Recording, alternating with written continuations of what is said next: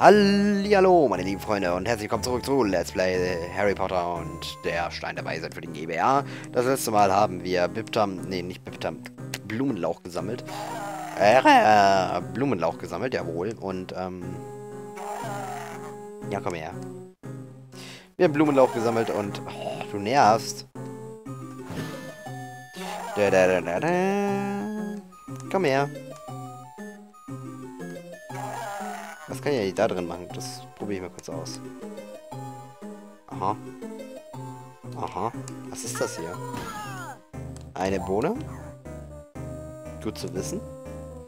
Naja, jetzt jedenfalls äh, ein Troll ist in der Schule, weil er in die Schule gelassen wurde und wir versuchen, äh, wir wollten Hermine warnen und jetzt ist er hier, der Troll. Also wirklich schrecklich. Ich glaube, wenn wir da reinlaufen, tun wir uns weh. Yep. Muss man natürlich erstmal ausprobieren. Ähm, was gibt es hier? Da, da, da, da. Warum sieht das aus wie ein Level, was keinen Sinn macht? Hm. Ah ja, man, man macht das natürlich, indem man darüber schießt. So.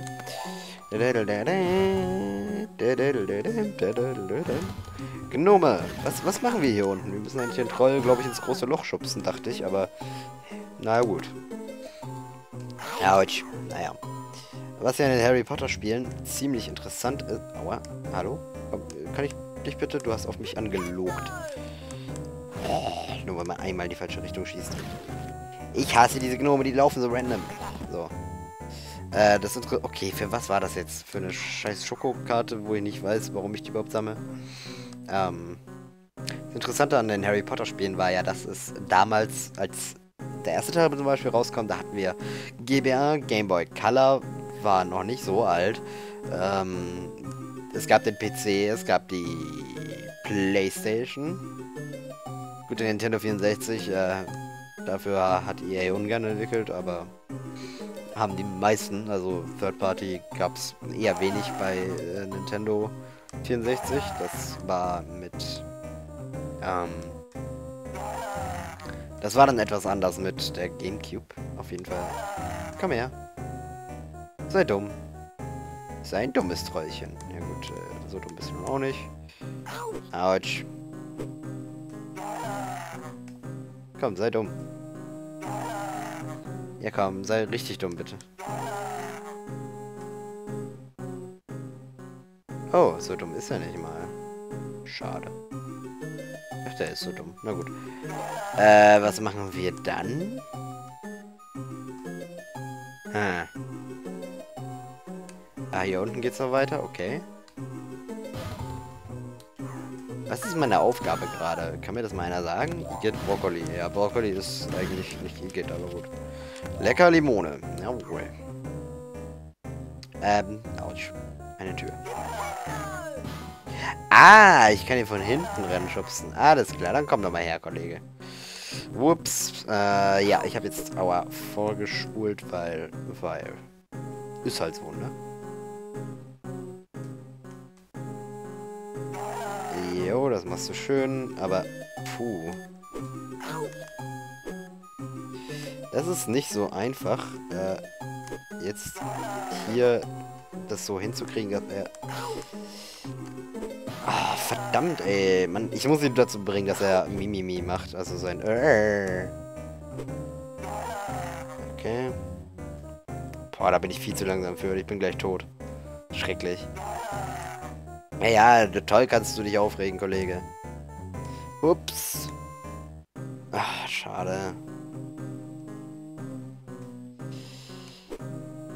Jawohl. Ah, schade.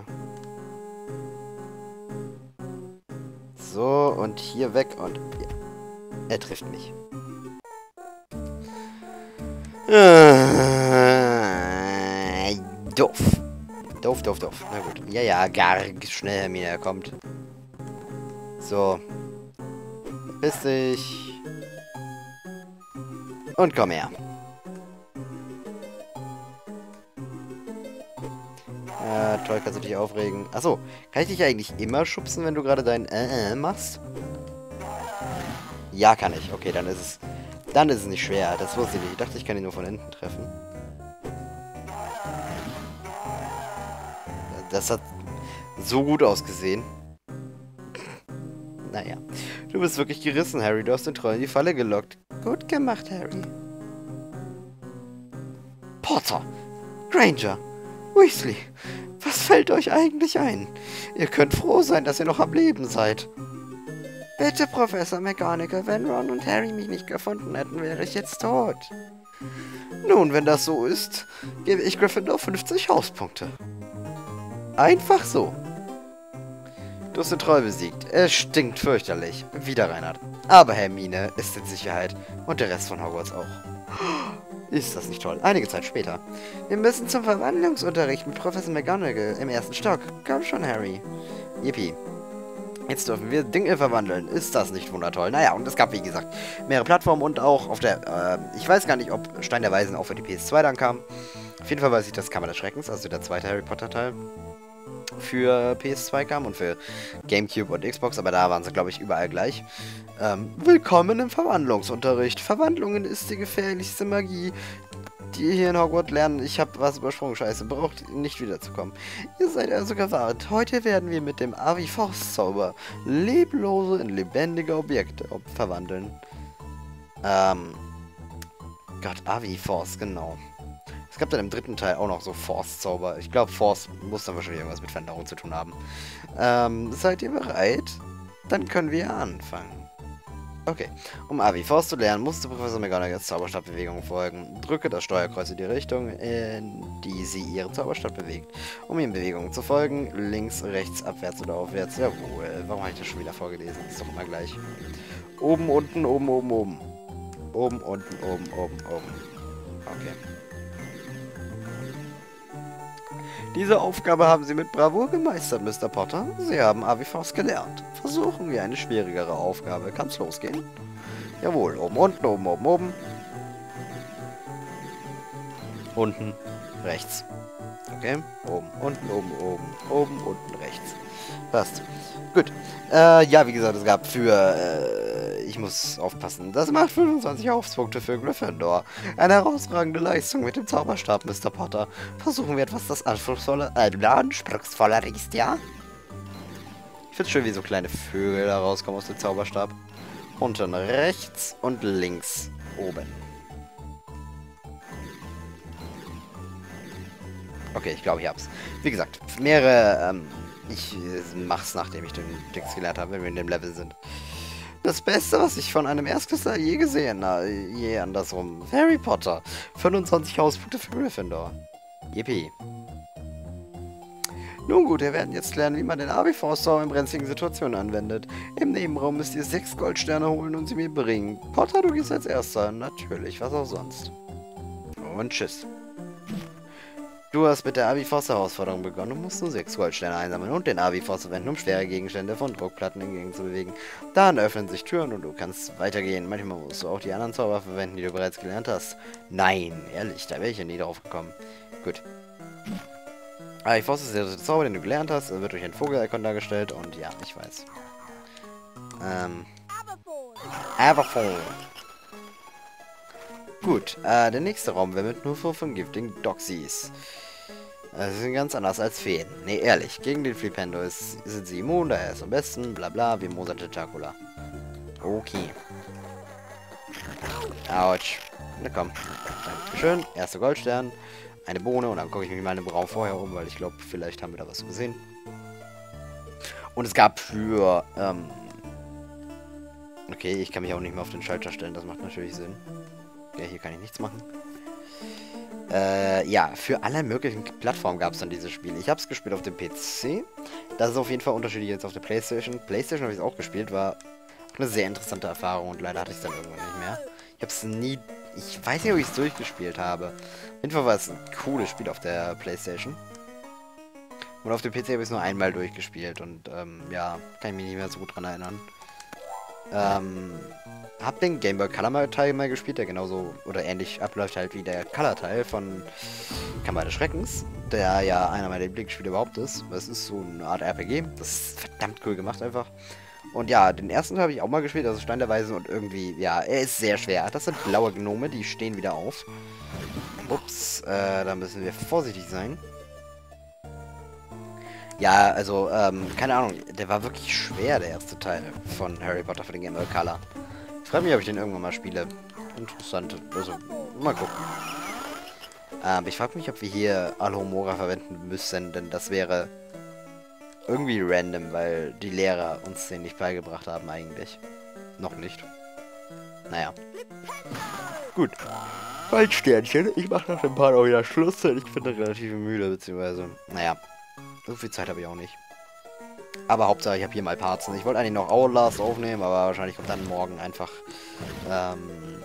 Aber mir wird gerade eigentlich, hätte eigentlich einen 15-Minuten-Part machen müssen. Den ersten, aber na gut, was soll's. Entweder kommt dann morgen gar kein zweiter Teil von, also kein, kein zweites Projekt oder ähm, ja, wie gesagt, eben äh, Call of Duty. Mal gucken. Call of Duty habe ich ja noch ein bisschen was. Die Tür ist zu. Okay, ah, du bist dann rüber. Sehr schön. Man muss halt immer ein bisschen pre-feiern hier. Das ist wirklich so. Äh, wups. Everphone. Naja. So. Ah. Lass mich raten. Bums. Ich muss dich aktivieren und du fährst jetzt hier drauf. Und dann kann ich da durch. Aha. Warum hast du so kurz gestoppt? Das ist sehr seltsam. Klump. Und das Sternchen. Nee, aber interessant, dass EA sich mal solche Mühe gemacht hat, sag ich mal. Okay, aber wie äh, Alomora ist dann nur nötig für so eine Truhe, was auch interessant ist, aber naja, gut. Da sage ich jetzt mal nicht unbedingt was gegen. Äh, das wäre auf jeden Fall nicht schwer, wie wir sehen, sind wir eigentlich durch. Äh, ja. Äh, wupsi, wupsi.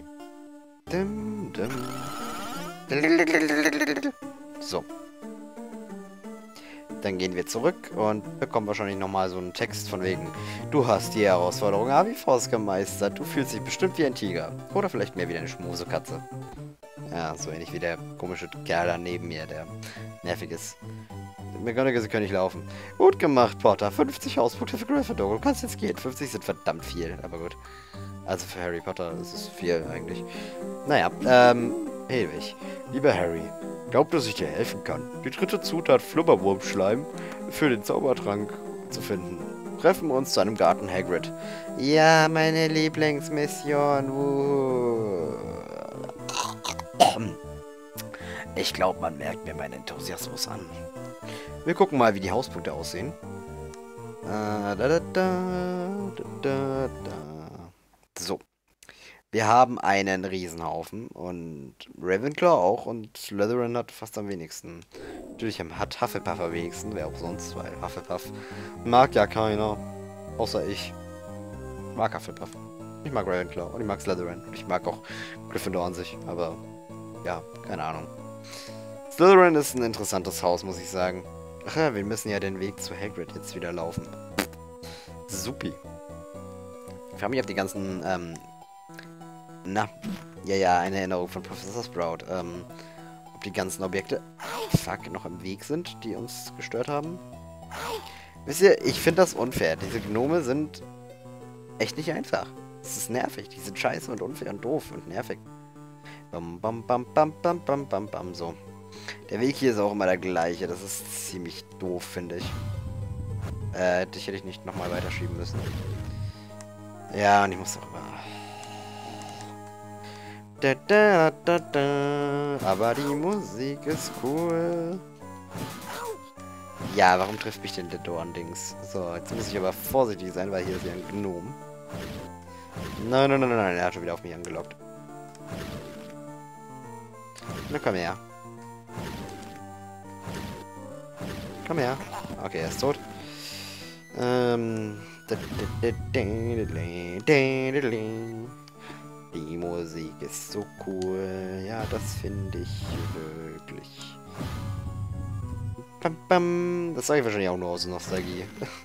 Keine Ahnung, ob ich die Musik so gut finden würde. Oh, interessant. Ich habe so nie wirklich die Musik von Fusion als super geile Ohrwurm-Stings, ähm, also von Metal Fusion als super geiler Ohrwurm-Stings im Kopf gehabt. Also ich finde sie gut und sie passt atmosphärisch überall rein, aber so im Kopf geblieben, also wir, wir bleiben, also so, Mir fallen halt jetzt gerade so, wenn ich drüber nachdenke, allerhöchstens der Theme von Ridley ein und das war's. Und der kommt halt auch immer, wenn man flüchtet und so, ne? Ja, so. Was? Gut, die Dorn haben mich davor... Ich muss hier starten. Ist es euer Scheiß Ernst? Weißt du, die Dorn haben mich an derselben Stelle vorher nicht erwischt. Autsch, mir scheißegal. Scheiß Gnomenviech. So, Bums. Ich kann auch hier vorbei, oder? Ja, natürlich kann ich mich da vorbei mogeln.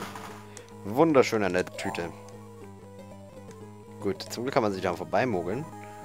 Weil da muss man hier nicht... Aua, das Ganze die ganze Zeit immer wieder und immer wieder neu machen.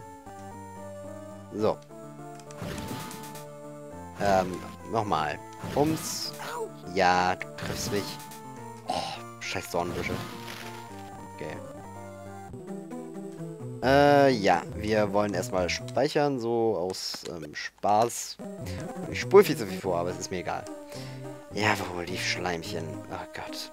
Oh, hi Hermine. Hallo Harry. Schön, dass du kommen konntest. Die Flubberwürmer sind draußen im Garten. Wie kann ich sie denn am besten einfangen? Nun, Flubberwürmer hören gerne Musik. Genauso wie einige andere Tiere auch. Wie Fluffy zum Beispiel. Kannst du sie verzaubern und beruhigen, indem du eine Melodie spielst? Äh, also kannst sie verzaubern und beruhigen, indem du eine Melodie spielst auf dieser Flöte. Dann kann man also den großen Hund im verbotenen Korridor ebenso mit Musik verzaubern und beruhigen? Ja, das nimmst du halt jetzt einfach so an. Ne? Einfach so. Woher wisst ihr von Fluffy? Fluffy? Ja, er gehört mir. Hab ihn von so einem kleinen Griechen gekauft, dem ich letztes Jahr begegnet bin. Hab ihn Dumbledore gegeben, damit er auf den... Ja?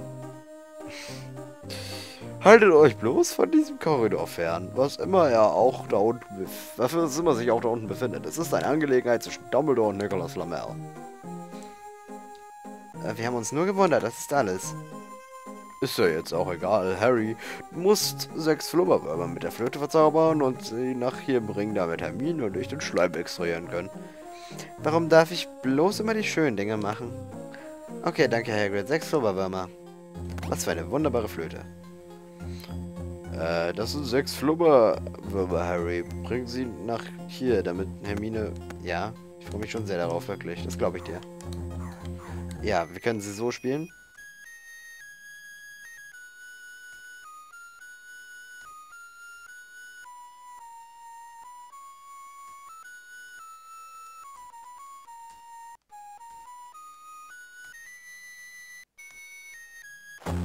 Okay, interessante Melodie, die ich gerade nicht zu Ende spielen konnte, weil ich von einem Bären Bärenbusch aufgehalten wurde. Naja. Gut, ähm... Jo. Vielleicht mache ich danach noch einen 15 Minuten Part, mal gucken. Jedenfalls habe jetzt diese Flöte bekommen. Und Harry kann wirklich, äh, dafür, dass er noch nie Flöte gespielt hat, perfekt Flöte spielen. Aber vielleicht liegt es auch daran, dass sie verzaubert ist, wer weiß.